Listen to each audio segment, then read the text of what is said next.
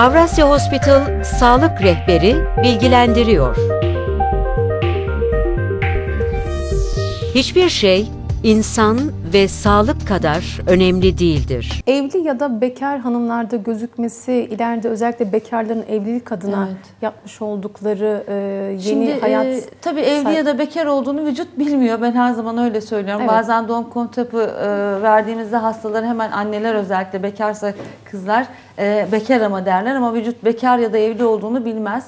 Kist ya da miyom bekar ya da evli tanımaz. Onun için e, bekarlarda da olabiliyor, evlilerde de olabilir ama şöyle bir şey var. E, miyomlar daha çok belli bir yaş üzerinde olduğu için e, 40-45 yaş üzerinde daha çok gözüktüğü için nadiren e, 40 yaşın altında gözüktüğü için tabii hani genelde o yaşlarda insanlar evli olmuş oluyorlar. Yaklaşım daha kolay oluyor. Tanı daha kolay oluyor. Ultrasonumuzu vajinal ultrason yaptığımız için daha güzel tanı koyabiliyoruz. Yerine daha güzel saptayabiliyoruz ve daha rahat hareket ediyoruz. Yani her kadında e, rahim almak, e, rahim alma ameliyatı, rahime dokunma çok önemlidir. Kadını çok sarsan bir durumdur ama iki tane, üç tane çocuğu olan için o kadar çok sorun değildir. Ama evlenmemiş bir kadın için rahime dokunmak ya da yumurtalığının herhangi birini almak çok önemli. Çünkü ileride fertilite çocuk isteği olacak. E, çok çok daha korumacı ve dikkatli oluyoruz onlarda. hayatını tamamen etkileyecek bir karar değil mi hocam? kesinlikle evet.